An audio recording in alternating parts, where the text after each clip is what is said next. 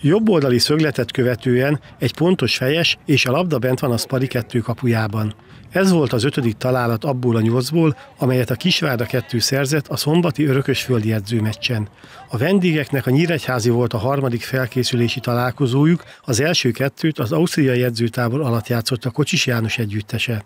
Az osztrák másodosztályú Lafnisztól három egyre kikaptak, a Kapfenberger második csapatát viszont kettő egyre legyőzték a várdaiak. Az NB3 rajtjára készülő csapat kerete átalakult a nyáron, a távozók helyét az akadémia fiataljéval töltötték fel. Aki távozott, ugye ez, ez mindegyik az abból adódóan, hogy 2001-esként már nem tud játszani, tehát a Vasottó volt, az Abóva, Szőr Levente, akik jelen pillanatban ugye még velünk edzenek, meg még az egyszer-egyszer pályára lépnek, de hát ők egyébként is profival rendelkeznek, de nagy valószínűséggel nem fognak már nálunk játszani.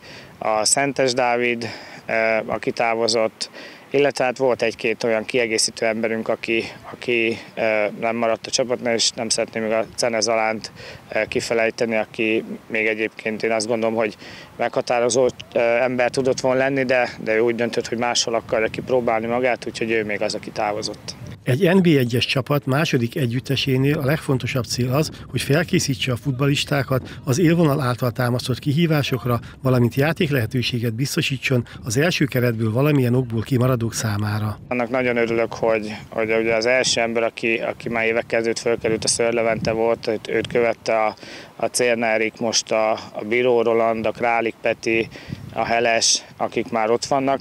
De én azt gondolom, hogy ezeken kívül még, még azért két-három ember mindenképpen van, aki, aki nagyon közel van hozzá. Már ezek közül többen profi szerződést is kaptak, a, a Simon Mátyás, akkor a, a Honcsár Nikita, aki, aki nagyon nagy lehetőség lehet még a következő időszakban, de a többiek is. Tehát én azt gondolom, hogy egy fél év alatt, vagy egy év alatt annyit tudunk előrelépni, vagy olyan fejlődésen mennek át, hogy, hogy aki most a keretünket alkotja, annak mindenkinek megvan a lehetősége, hogy, hogy esetleg oda kerüljen. Legutóbb a Kisvárda 2 a hatodik helyen végzett az NB3 keleti csoportban.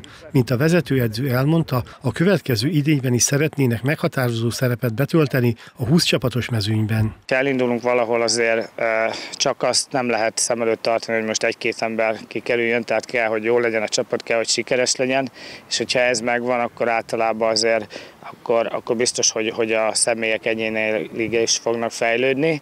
Úgyhogy egyértelműen az a célunk, hogy, hogy meghatározó szerepet töltsünk be, a fiataloknak megadjuk a lehetőséget, hogy játszanak, illetve az első csapatból is, akik, akik visszaszoktak játszani, én azt gondolom, hogy, hogy nagyon jól illeszkednek be hozzánk, és, és nekik is ez egy jó hely ahhoz, hogy, hogy esetleg ha ott nem kapnak lehetőséget, akkor itt formába tudjanak kerülni. Úgyhogy azt gondolom, hogy ez jó egyveleget képez ez a dolog, és nagyon bízom benne, hogy a, hogy a táblázatnak az első felébe leszünk, és meghatározó csapat leszünk az NBA3-ban.